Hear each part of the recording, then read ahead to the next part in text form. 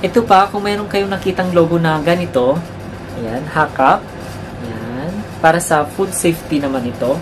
Hazard Analysis Central Control Point. And so, pag mayroon kayong nakitang logo na ganito, magandang klase na cat food yan. This is Joe and Royce Vlog and welcome to my channel.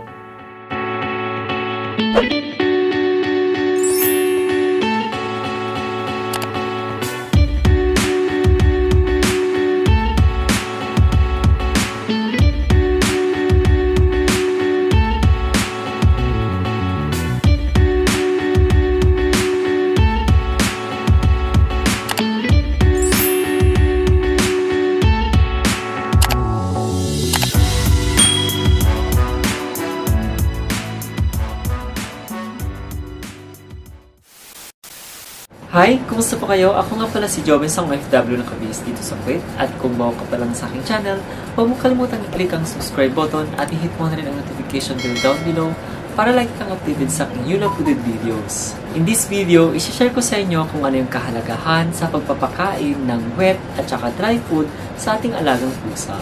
At kung ano yung mga masasamang naidudulot nito sa ating alagang pusa. Ang daming nagtatanong kung ano ba daw dapat ang ipapakain sa kanilang alagang pusa, kung ito ba ay dry food o yung wet food. Yung pagpapakain ba ng dry food at saka yung wet food sa ating alagang pusa ay ito ba ay maganda?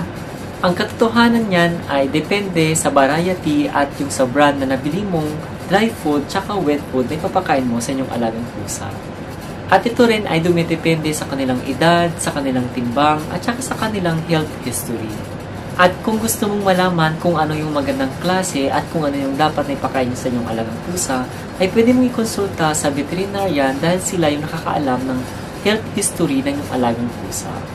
Ginawa ko itong video na to para maging guide ninyo at para malaman din ninyo kung ano yung kahalagahan ng dry food at saka yung wet food. Ito yung kahalagahan ng wet food. Ang common benefits na makukuha sa wet food ay yung moisture. 68 to 78% of water ang makukuha dito compared doon sa dry food na 10% lang. Bakit mahalaga ang moisture na nanggagaling sa wet food sa ating alagang pusa? Mahalaga ang moisture na manggagaling sa kanilang pagkain para maiwasan ang dehydration. Dahil kung sila ay ma-dehydrate, pwede itong maging sanhi at dahilan ng kanilang pagkawala. Karamihan kasi sa mga pusa ay hindi pala inom ng tubig at yung mga ibang pusa ay uminom lang kapag may running water. Meron kaming alagang pusa na ayaw niyang uminom doon sa bowl na may tubig, kaya ang ginawa namin, bumili kami ng drinking fountain. Ang pag-inom ng tubig ng ating alagang pusa ay napakahalaga. Mahalaga ito para sa digestion, absorption of nutrients, maintain body temperature, help essential organs function properly, help circulation, flush out toxins, at para mabawasan yung chances of kidney and bladder stones. Hindi lang calories ang makukuha ng ating alagang pusa sa pagkain ng wet food, kundi mayroon din itong moisture para sila ay mabusog. At isa pang kagandahan ng pagpapakain ng wet food sa ating alagang pusa ay ito ay mabilis lang kainin at madaling nguyain. Kaya naman, ang wet food ay maganda sa mga senior cats at saka sa mga pusang mayroong dental problems. At narito naman yung di kaaya-aya sa pagpapakain ng wet food. Yung una ay yung wet food ay may kamahalan compared doon sa dry food. Pero ito ay nakadepende na rin sa budget ng cat owner. Ang susunod ay mas maekse ang shelf life ng wet food compared sa dry food. Upon opening kasi ng wet food ay pwede lang itong magtagal ng 24 hours. Kaya kung wet food ang pinapakain niyo sa inyong alagang pusa, ay bigyan nyo lang ng certain amount ng wet food na makakain lang niya sa isang meal. At yung sobra ay pwede nyong ilagay doon sa chiller para naman sa next meal niya. Dahil hindi pwedeng magtagal ang wet food sa room temperature dahil pwedeng mag-build up ng bacteria and it can cause gastrointestinal upset. Dahil ang mga pusa ay parang tao din Di ba ang tao, pag nakakain ng sirang pagkain, ay ito ay sumasakit ng tiyan at pwedeng sanhi ito ng kanilang pagtatae. At kung naparami yung serving na naibigay mo sa iyong alagang pusa, at maraming natira ay hindi na nila ito babalikan upang kainin. Kaya magbigay ka lang ng tamang amount ng wet food sa meal na yon. Narito naman ang kagandahan sa pagpapakain ng dry food.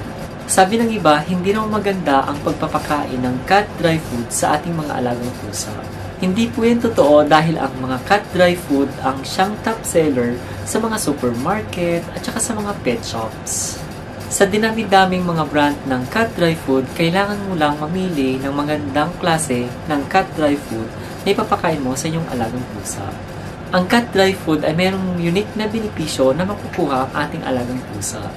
Ito ay nakakatulong para ma-prevent ang plug, ang tartar build-up sa mga ngipin ng ating mga alagang pusa. Bakit mapanganib ang plug and tartar sa ating alagang pusa? Dahil pwedeng mag-build up ng bacteria, gingivitis or inflammation of the gums, periodontal disease, even more inflammation and tooth loss. So, pwedeng ma- matanggal yung ngipin ng ating alagang pusa, receded gums, which causes pain, infection, and decreased organ function from bacteria. Pero ang cat dry food ay nakakatulong lang ito para sa kanilang dental care at para maiwasan yung plug at saka tartar build-up. Ang isa pang magandang benepisyo ng pagpapakain ng dry food ay ito ay mas mura compare sa wet food. Ito yung pinaka-best option sa mga cat owner na very tight ang mga budgets. Ang kagandahan pa ng pagpapakain ng dry food ay mas mahaba ang kanyang shelf life pwede itong magtagal ng isang buong araw. Dahil mas maliit ang moisture, ma-minimize ang bacterial growth. At ang kagandahan pa ng dry food ay mas madali itong buksan compare sa wet food na nakalata. Narito naman ang mga bad feedback sa pagpapakain ng dry food. Pwedeng maging obesity ang inyong alagang pusa. Mas maraming calories ang nakukuha sa dry food compare sa cat food.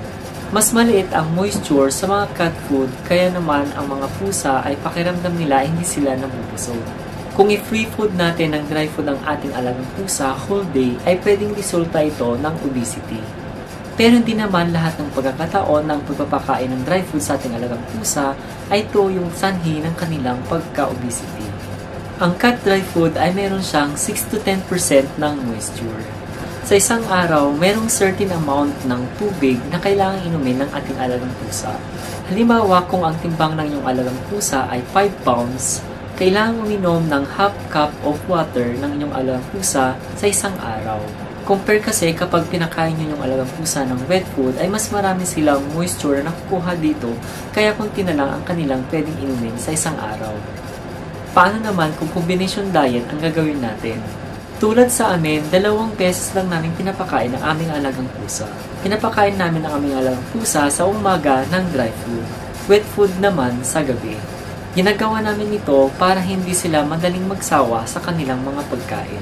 Pinapakain din namin ang aming mga alagang pusa ng mga different flavors na mga pagkain para sa mga pusa. Pero pinapakain namin sila ng tamang sukat para maiwasan ang obesity. Kayo, ano yung mga pinapakain ninyo sa inyong alagang pusa? Dry food ba o wet food? Ano ang mas magandang ipakain sa ating alagang pusa? Marami tayong mga narinig sa mga disadvantages at advantage ng mga bawat brand ng mga cat food gaya ng wet food at dry food. Meron yung mga nagsasabi na maganda itong brand na to, pero yung mga iba naman ay salungat na hindi daw maganda yung ganung brand. Di ba nakakalito sa pagpili ng ipapakain natin sa ating alagang pusa? Kaya naman, mas maigi na ikonsulta natin sa mga veterinarian ng ating alagang pusa kung ano yung magandang klase ng variety ng food na ipapakain natin sa ating alagang pusa. Bigyan ko kayo ng isang tip sa pagpili ng magandang klase ng pagkain para sa ating alagang pusa. Kung mayroon kayong nakitang ganito, yan siya oh, here. Kung mayroon kayong nakitang mga logo ng mga to, yan, so, Maganda yung klase ng mga ganitong pagkain kasi dumaan ito sa masusing pagsusuri. At ito pa, kung mayroon kayong nakitang logo na ganito, AAFCO, yan siya, ito, AAFCO, ay magandang klase na pagkain yan. Ang meaning niyan ay Association of American Feed Control Officials. Ayan. Ito pa, kung mayroon kayong nakitang logo na ganito, ayan, hackap, ayan, para sa food safety naman ito. Hazard Analysis Central Control Point. And so, pag mayroon kayo nakitang logo na ganito, magandang klase na cat food yan. Gaya ng pinapakain namin sa aming alagang pusa, ay meron yung mga logo na yan.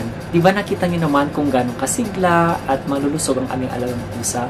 Kaya naman, ito ay ititinda natin namin dyan sa Pilipinas through Shopee. Eh. So, kung gusto niyo makabili ng same brand na pinapakain namin sa aming alagang pusa ay pwede kayong bumili sa amin. Ayan, ito yung Shopee account namin. Yung link ng Shopee account namin ay ilalagay ko na lang sa may description box. At ito yung mga paninda namin sa aming Shopee account. Meron kayong mga food supplements, mga shampoo at mga cologne na galing sa Amerika, mga Madrid de Cacao products na FDA approved, chicken jerky treats na para sa mga pusa at saka sa mga aso. Kung gusto nyong bumili sa mga produktong ito, ay bisitahin nyo lang ang aming Shopee account. Yung, yung link ng aming Shopee account ay ilalagay ko na lang sa may description box. At huwag mong kalimutang i-follow ang aming Shopee account. Shoutout po kay Sir John Ref Villanueva Vapor.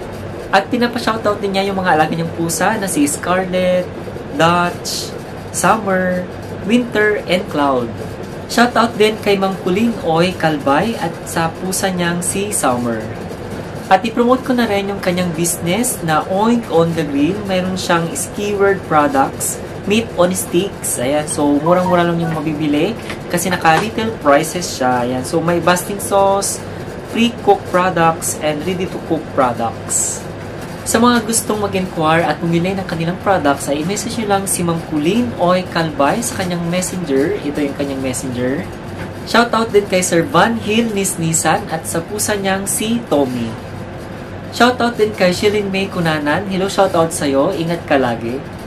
Dito na po nagtatapos itong video na to. Kung nagustuhan mo itong vlog na to, ay huwag mong kalimutang mag-like at share dito sa iyong social media accounts. At kung mayroon kang gustong i-comment at suggest para sa aking next content, ay i-comment mo lang sa may comment section.